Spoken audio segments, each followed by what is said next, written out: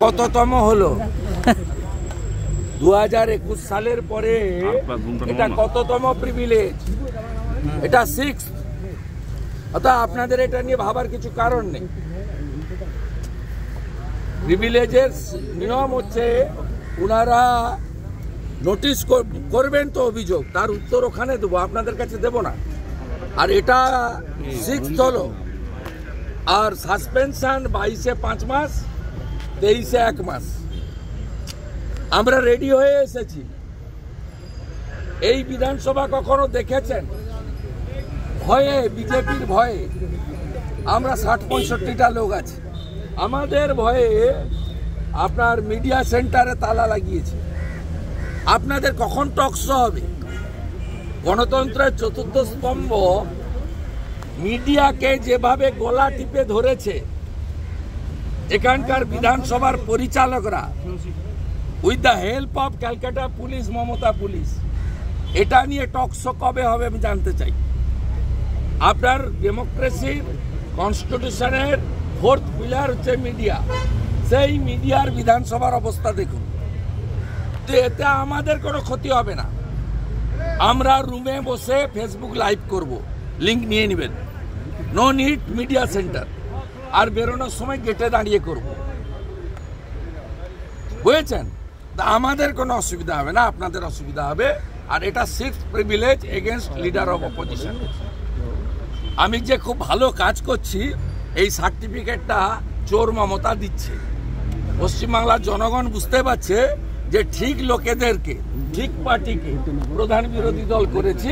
একেবারে কীভাবে পিন ফুটাতে হয় ফুটিয়ে যাচ্ছে। গতকাল যখন আপনি সাং- ফুটে তার খুলে দিয়েছেন আপনারা অভিযোগ মুখ্যমন্ত্রী পাগল উন্মাদ উন্মাদ। আমাদের লালবাজার লালবাজারে অভিযোগ করেছে তৃণমূল ওগুলো ফালতু ও কাগজ ও- ষড়যন্ত্র করা এই হেয়ার স্ট্রিট থানায় এর আগেও করেছে। হেয়ার স্ট্রিট থানায় এর আগেও করেছে। আবারও করেছে। ভবিষ্যতেও করবে। করতে থাকুন কানতে থাকুন। আমরা আমাদের কাজ করব এবং আমরা আপনাকে প্রাক্তন করব।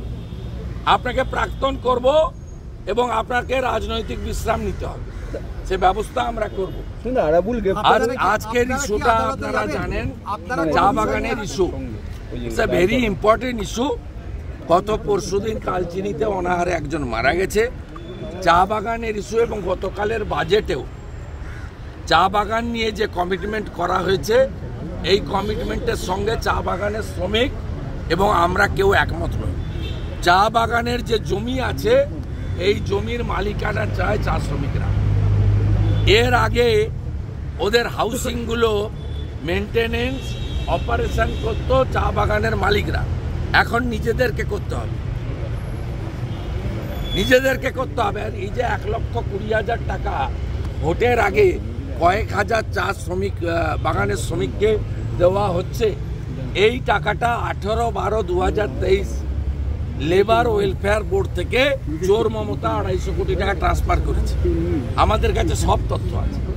এটাও ফাইন্যান্সিয়াল ইরেগুলারিটি। কিন্তু আমরা বলেছি, যত টাকা দিবে নিন, ভোটে এদেরকে চুবান এবং আমরা যেদিন ক্ষমতায় আসব, এক মাসের মধ্যে চা শ্রমিকদেরকে মালিকানা দিয়ে দেবো।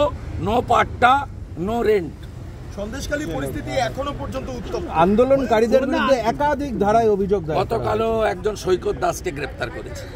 একশো এগারো জনের নামে মামলা হয়েছে। বিজেপির তিনজন মণ্ডল সভাপতি আছে। আমরা ফুল লিগ্যাল প্রোটেকশন দেব। গ্রামবাসীদের গ্রামে থাকতে বলেছি আমরা এবং সংগঠিত হতে বলেছি।